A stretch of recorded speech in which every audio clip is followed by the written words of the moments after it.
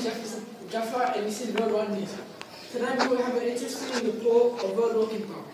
So we have an interview with Farhan on the line. So Farhan, what is happening out It is a disgrace out here. Sushi is taking over all the kimbap classes.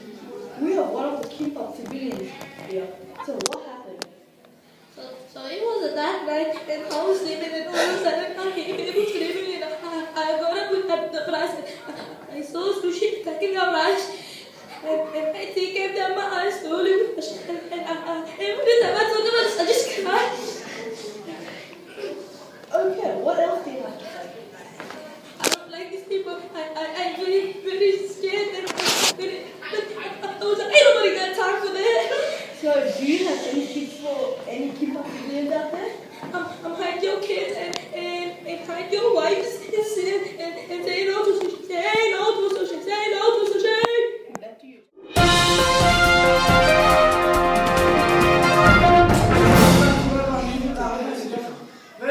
Have an interviewer, interview with the Kimbap civilian. The Kimbap have taken back what, what was theirs, and the food is sushi. We have an interview with Farhan on the line. How was the battle? I, I, I am very, very happy and, glad for, for, for the, like, oh my god, I, I'm so, can't stop crying from happiness and, and, and I just want to thank everyone that uh, uh, help us in this war and I wish you all the best. Thank you. Thank you. Thank you, and we have more coming up.